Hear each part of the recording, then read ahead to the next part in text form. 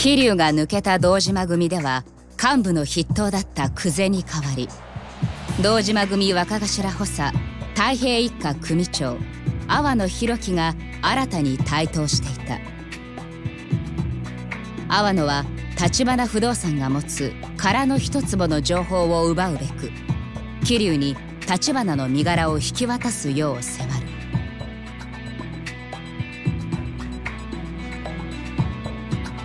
かたくなに要求を飲まない桐生に対し阿波野は堂島組を挙げて包囲網を狭めていった。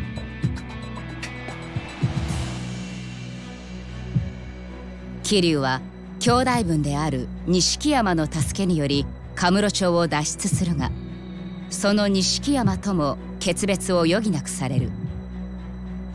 東上界最強と言われる堂島組との対立が深まる中それでもカムロ町へと戻っていく桐生。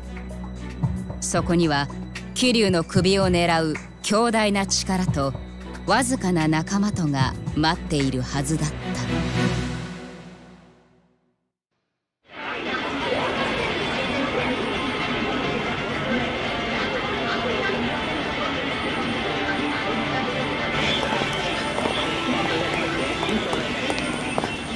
おい。いたいたいたぞ俺。桐生じゃねえよ。この野郎。紛らわしいなりしてんじゃねえ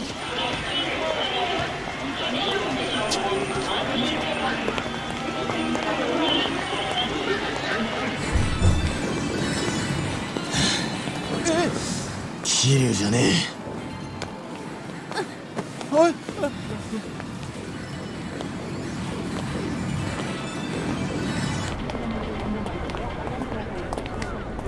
こいつ見たらすぐに知らせろ。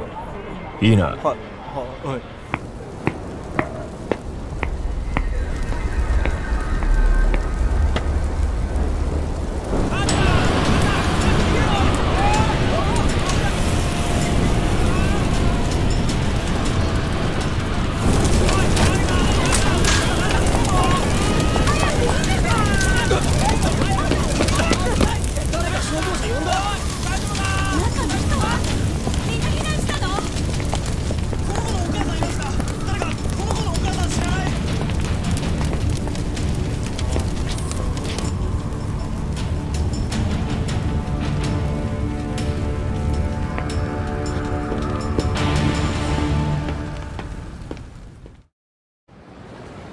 こ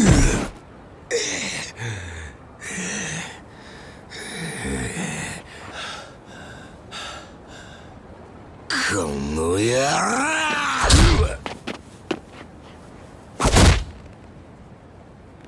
まだ終わっちゃいねえんだよ。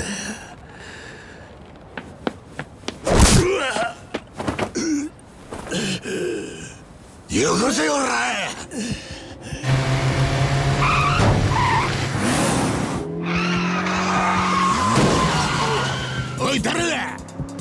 脳みそぶちまけろ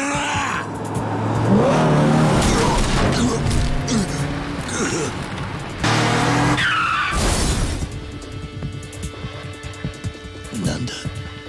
桐生さん乗って!立花!早く!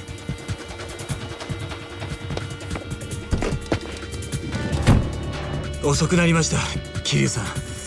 あいにく車の運転は得意じゃないんです。しっかり捕まっててください。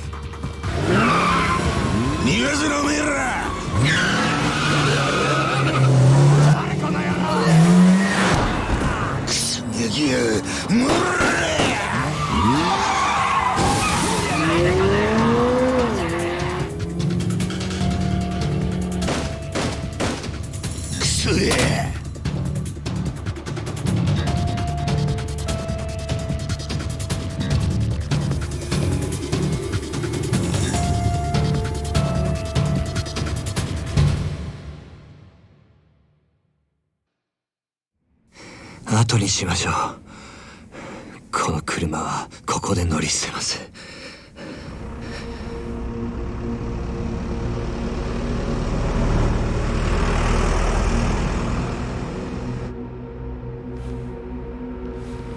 あの車は敵じゃありません。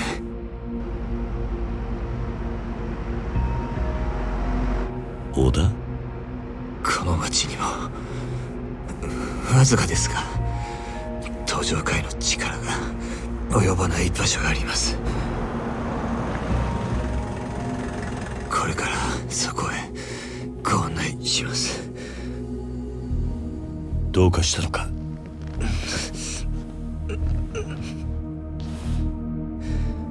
おい立花！社長しっかりしてください社長